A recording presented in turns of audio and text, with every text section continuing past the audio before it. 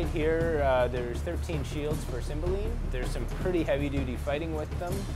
Um, so this piece on the front here is called the Boss, and it's made out of a really, a really, really tough plastic, and they can bash their swords against there and not take a lot of damage to the shields.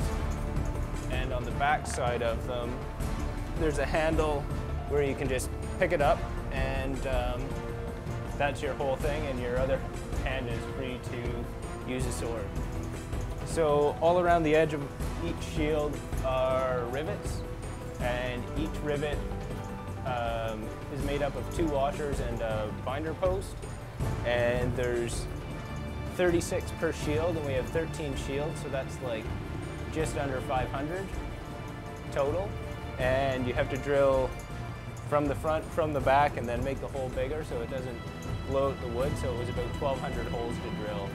So with the 13 shields, there's also 13 suits of armor with helmets. This is one of the pieces of armor.